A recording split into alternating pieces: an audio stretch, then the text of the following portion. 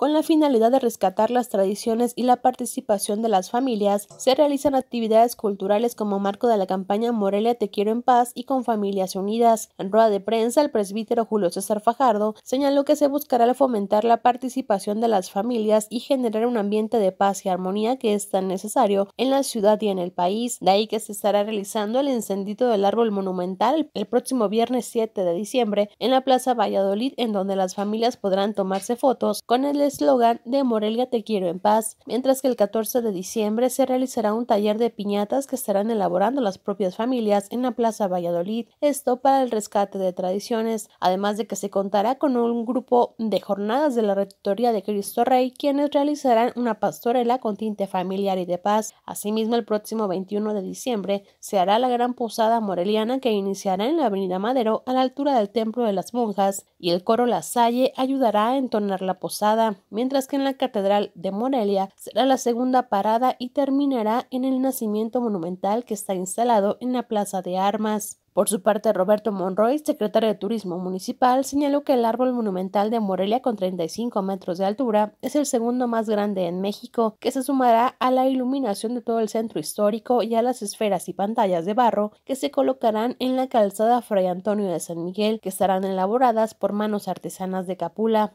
Jessica Aguirre, respuesta.